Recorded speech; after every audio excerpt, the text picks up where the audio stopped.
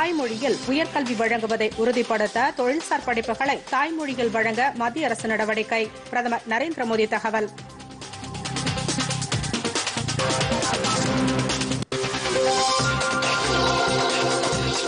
Railway துறையை தனியார் மயமாக்கும் திட்டமில்லை. நாடாளுமன்றத்தில் ரயில்வே துறை அமைச்சர் அஸ்வினி வைஷ்ணவ் விளக்கம்.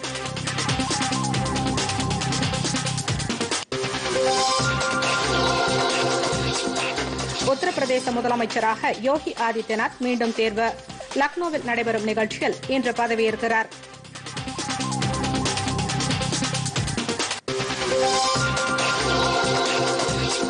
நான்கு நாள் பயணமாக துபாய் சென்றடைந்தார் முதலமைச்சர் மு க ஸ்டாலின். சர்வதேச தொழில் கண்காட்சியில் தமிழகத்தின் அரங்கை இன்று திறந்து வைக்கிறார்.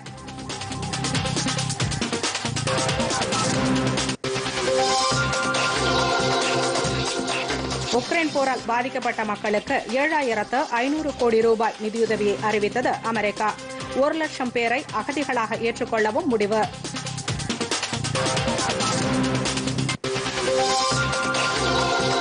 சுவிட்சர்லாந்து ஓபன் பேட்மிண்டன் தொடர்.